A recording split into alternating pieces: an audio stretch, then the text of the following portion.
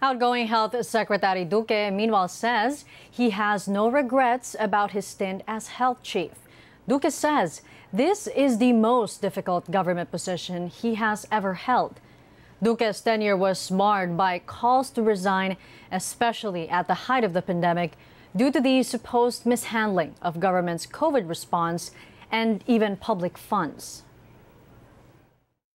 I uh, did my best. I uh, gave uh, all whatever God gave me as a as a human being, as a person.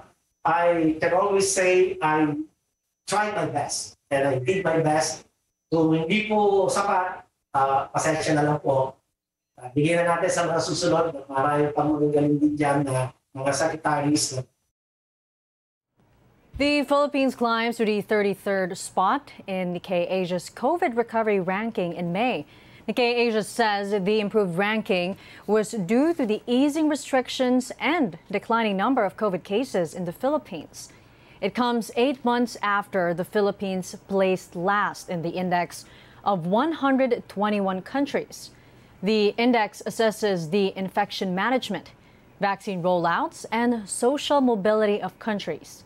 For Health Secretary Francisco Duque, the country's rise in the list was due to the compliance of Filipinos to minimum health standards. The uh, Johns Hopkins University survey from September to April this year, no? Uh, 91 to 96 percent ang masking uh, rate or compliance ng uh, Pilipinas. And that's really very good because it uh, really uh, synergizes or complements uh, our vaccination uh, to curb the uh, transmission. And that's why it is small wonder that our transmission rate is very low. In fact, our case load metric uh, shows yung uh, average daily attack rate plus, of course, our growth rate as minimal to low risk, no? low to very low risk. No? And then our healthcare utilization rate is also very low.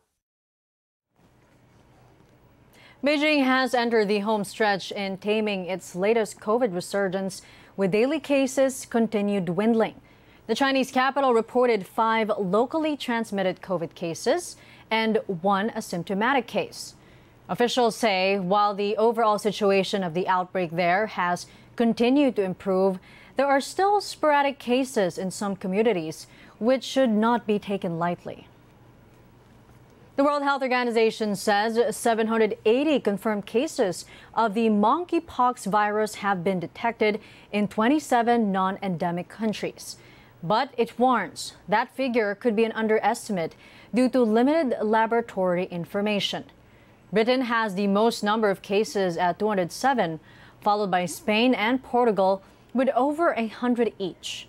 The WHO says the risk at the global level is moderate considering this is the first time many monkeypox cases and clusters are reported in non endemic and endemic countries.